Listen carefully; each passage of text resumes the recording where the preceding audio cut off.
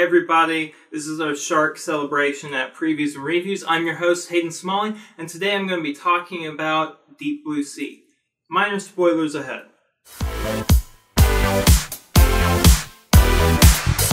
Deep Blue Sea is one of those films that feels like a conglomeration of several other movies. This feels like a mix between Jaws and Jurassic Park and the movie Poseidon. Uh, if you haven't seen Poseidon, it's an awesome movie. Definitely check it out. I'll do a review on that at some point. It's one of my favorite disaster movies. But basically, it's Jaws as far as sharks go, but the sharks are basically water velociraptors because of how smart they are. And they're not great white sharks, they're actually mako sharks that have just been supersized, which I can appreciate. Um, but I mean, this movie had things I really liked about it, things I enjoyed. I enjoyed Samuel. Jackson's performance. Um, I enjoyed a lot of the uh, actors. Um, but there's a lot of moments in this movie that I took issue with, largely because they were kind of blasphemous.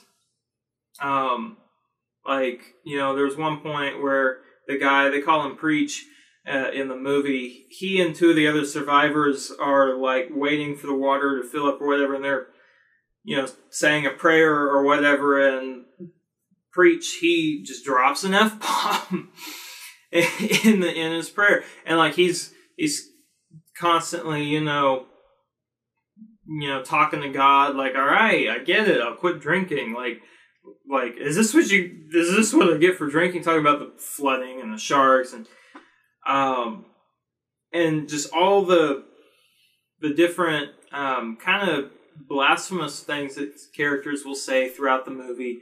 Uh, G, the you know the GD phrase, um, all that stuff. So I wasn't a big fan of the script as far as dialogue was concerned. Um, that was really a prominent issue for me. Other than that, though, I actually found this movie really enjoyable. Um, it, I think it's actually aged pretty decently. I mean, a lot of the practical shark effects looked fantastic. Um, and a lot of the CGI didn't look too bad, especially, you know, having been years since it was made. Um, so I, I found this movie fun. I would give it about uh, two and a half film reels. Um, just accounting for the fact that it really pulls from a lot of different films and it's really easy to see what films it pulls from. Um, so it takes away some of the originality of the script and you know everything that was done. I will say the set design was probably one of my favorite things. The set design and the water effects because you can tell they use mostly practical water effects and they look great. As far as popcorn is concerned, I can only give it three popcorn buckets. There's some areas where it gets slow. There's some areas where I found myself not at all caring about the characters. Like it, it's entertaining enough if you're looking for a good shark movie, um, but don't expect it to just have you on the edge of your seat the whole time. As far as an age range would go, I've got to recommend it for you know young adults and up, maybe teenagers. Um, it's just, but I wouldn't want young people replicating a lot of the dialogue that they hear in this movie. Anyways, this has been previews and reviews. I'm going to be doing shark movies, like I said in the last video, all week long.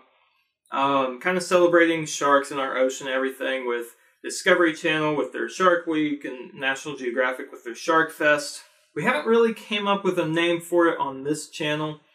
Um, but, you know, so if you have any ideas for Shark Week type themed names, let us know down in the comments below. And maybe that's what we'll call it next summer. Anyways, I hope you are enjoying these videos. Uh, let me know how your summer is going. What other shark movies do you recommend? Uh, what's your favorite shark movie? And what's your favorite shark movie that's not Jaws, if Jaws is your favorite? Um, but let us know in the comments down below, and God bless.